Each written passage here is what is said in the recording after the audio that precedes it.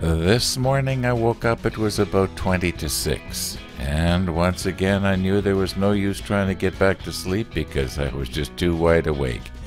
So got up, did the usual things. Yeah, I uh, plugged in the coffee pot. That was the most important thing. Well, the second most important thing. Anyway, yeah, I did the usual things like I checked my email, and I checked uh, the weather, and then I checked uh, the Google News, then the Facebook, and lastly, the YouTube comments. And uh, yeah, oh, by the way, when I was looking in my surveillance monitor, I saw a little rabbit. So it reminded me, oh yeah, I better put out a cup full of carrots, which I did. And this little rabbit that that I saw out there kind of worried me because it was not exhibiting the fear of me that it should. And as I was putting the uh, carrots out, it actually hopped right over, and it was only maybe a oh a couple of feet from my feet. Now, yeah, that that bothers me because if it shows no fear, it's susceptible to, you know, yeah, harm. Or it could also mean it's uh, sick, and you don't want to get bit by a sick rabbit. Now, don't go worrying. This is not going to be another rabbit episode.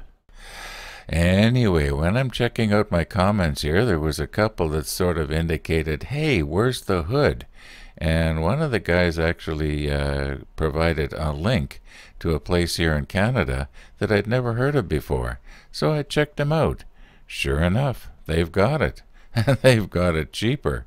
Now, I've already ordered it from Cellar Dweller, so, uh, you know, I sort of feel obligated. I don't do that sort of thing, you know. I don't, uh, uh, you know, uh, you know, um, you know, screw them around, in other words. A lot has happened in the last three hours. First of all, I uh, took out the time to check out this modelkits.ca. And the reason I did that is because I was very puzzled as to why their store was in Ontario, but the model would come from British Columbia, you know, like two, three thousand miles apart. And I've concluded that modelkits.ca, even though they do have a, a, model store in uh, Orillia, Ontario, they deal more with die cast cars and stuff like that. And I think they're just sort of doing this on the side, on sort of a, you know, an online business. And if you order something from them, they have their supplier ship it from uh, around Vancouver. Probably the same place where uh, Cellar Dweller gets theirs. And uh, now, speaking of Cellar Dweller, here's an interesting story.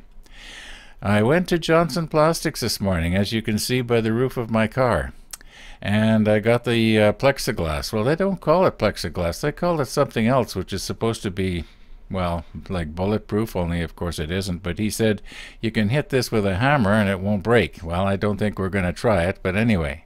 So on the way back from Johnson Plastics, I had to drive right past Cellar Dweller.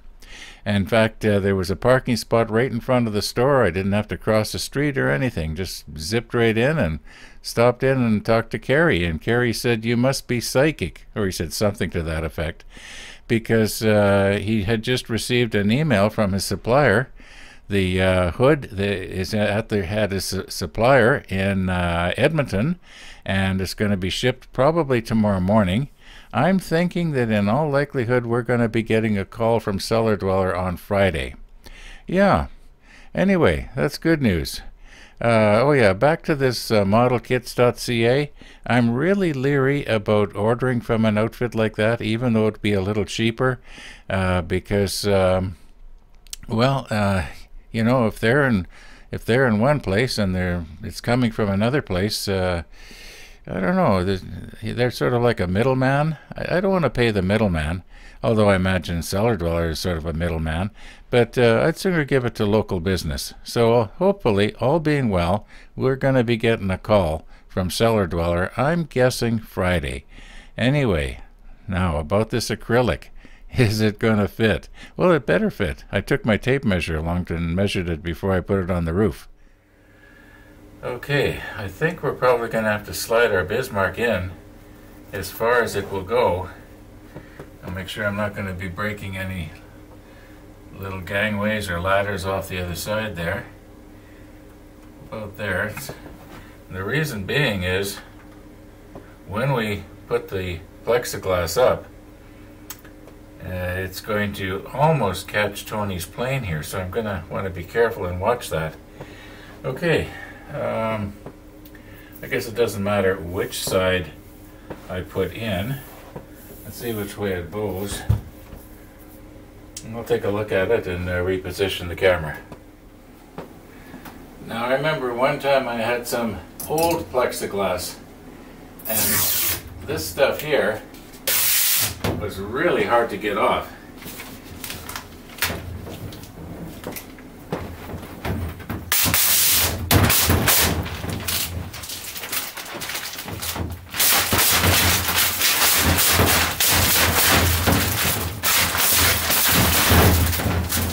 Okay. Now, I don't think there's any reason why I should have to clean this. It should be, you might say, pristine. Oh my, I can feel the static electricity. That's going to be catching dust something fierce. Maybe I should be wiping it down with a wet cloth. Um, trying to, I don't want to get fingerprints on the inside.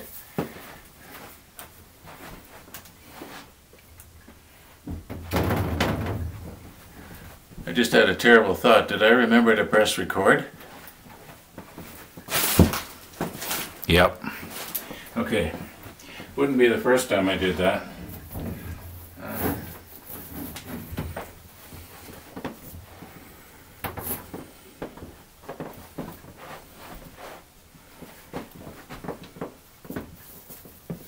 okay. Now watch Tony's plane. I suppose uh, it'll be fairly easy to clean this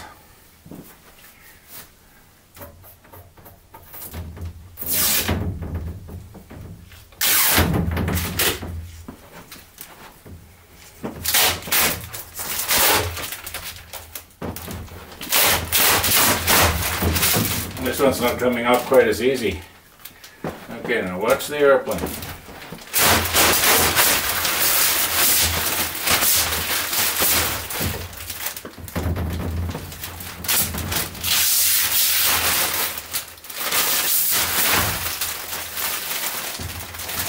Oh, and you can't see it, but there's a little hair right here on the inside. All right, now this is the plan. I should be able to use my suction cups to lift it up. I don't see any reason why this won't work.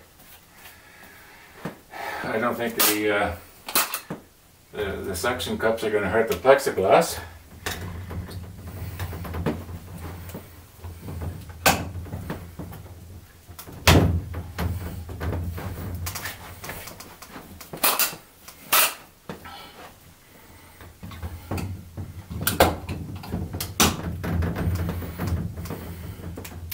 Okay, I'll uh, reposition the camera, although maybe that's, maybe I don't need to. Let's see what's going to happen here.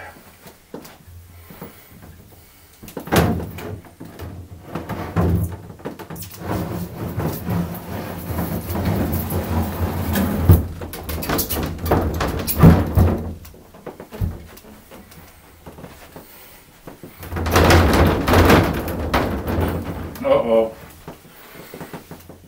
We got a problem there. What's what happened? Did they not did they not cut it straight at Johnson Plastics? The top is good.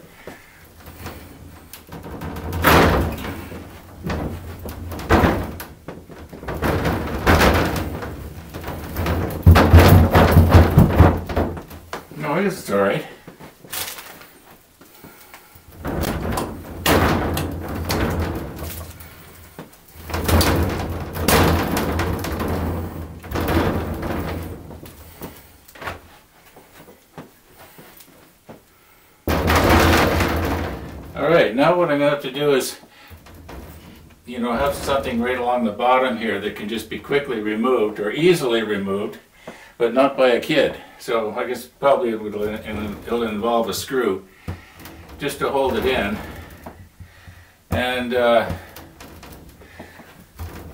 we'll clean that up after. In the meantime, I got to sit down and rest my back.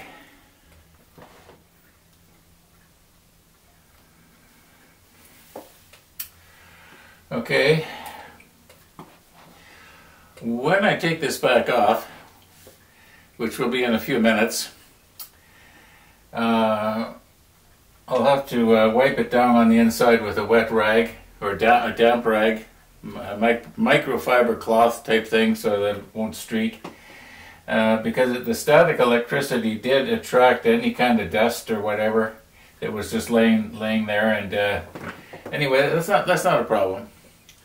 Uh, there is a slight problem. How many of you remember in the comments from about oh maybe two weeks ago somebody said that when I'm sitting over there at the uh, model table and I'm looking this way, the reflection from the window is going to you know bounce off of this and it, it kind of does. It's not real bad.